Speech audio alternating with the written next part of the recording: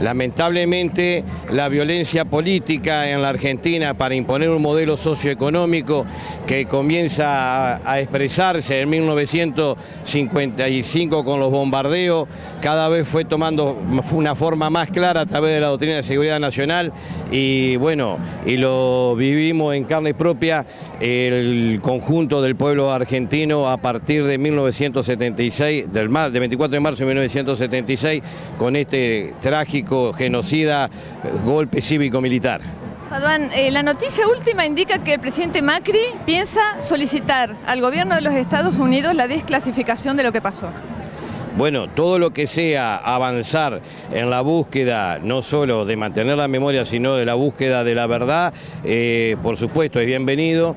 Y va a ser, eh, va a ser esto recordemos que está exigido también por los organismos por la, de derechos humanos, por las madres de Plaza de Mayo, pero todo lo que aporte al esclarecimiento eh, de la verdad tiene que luego trasladarse a la educación del conjunto del argentino para que nos sirva de la experiencia, que no volvamos a cometer los mismos errores que ya hemos cometido. Muchísimas gracias por su reflexión. a vos. Muy bien, jóvenes también, ¿de dónde sos? ¿Cómo estás? Hola, ¿qué tal? Buenas tardes, soy Nicolás, de acá de la ciudad de Paraná, y estamos marchando para mantener la memoria y por una gran cantidad de reclamos y conquistas que todavía nos están faltando. Eh, en el marco de esta Argentina tan compleja, donde todas las días tenemos que llevar adelante eh, distintos espacios de movilizaciones para conservar el piso de lo conseguido. Nuevas generaciones que siguen la posta del compromiso social. Así es, o sea, también es una cuestión de compromiso social, es una cuestión de militancia y de mantener vivo el reclamo de los 30.000 desaparecidos. Porque realmente hemos vivido un terrorismo de Estado y la memoria, la verdad y la justicia siempre deben estar presentes para no volver a ese pasado horrible donde el Estado realmente hizo la desaparición de estudiantes, de obreros, por eso nunca más. Soy de Paraná, soy de Paraná. ¿Cómo vivió el 24 de marzo de 1976? Con gran angustia, estaba ya por parir una hija y fue terrible para mí, terrible para mí.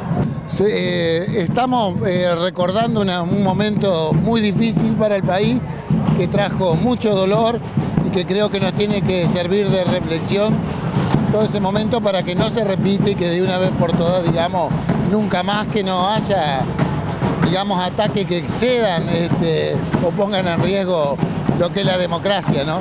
La democracia es lo más importante que tenemos y ahora va a ser el 14 de abril una vez más revalidada con el voto de la gente, ¿no?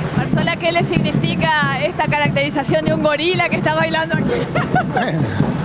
creo que es más gracioso que, tenemos que tratar de, unificarnos en, este día. Es cuanto más unidos tenemos que estar los argentinos para defender la democracia.